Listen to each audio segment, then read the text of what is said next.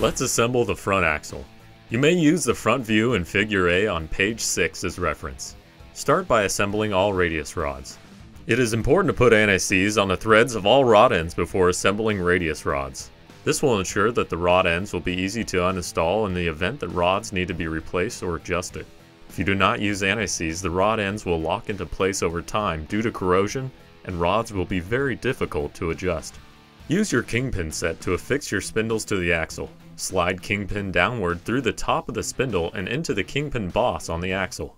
Add a bronze kingpin washer from the kingpin set between the bottom of the kingpin boss and the bottom of the spindle before pushing the kingpin all the way through.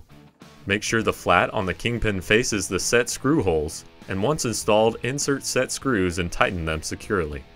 Next, you'll want to attach your steering arms to the spindles using the coarse threaded 3 8 inch bolts in your front axle hardware kit. Once steering arms are attached, install tie rod and drag link. Utilize 3 8 inch hardware and spacers in front axle hardware kit to affix rods to steering arms. It is important to get the correct spacers between each rod end and steering arm to prevent any binding. Start by finding a quarter inch spacer and attach one end of your tie rod to the right front steering arm spacing it down a quarter inch from the bottom of the arm and fasten securely. Affix the drag link to the left front steering arm, spacing it a half inch above the arm. Then attach the other end of your tie rod spacing it a half inch below the arm, and fasten securely.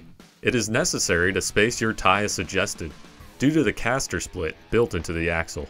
Attach panhard rod to welded stud on the front of the axle using a 3 8 inch nylock nut found in your front axle hardware kit. Finally, mount front hubs. Drop your tapered bearings into each hub with a sealed bearing to the inside.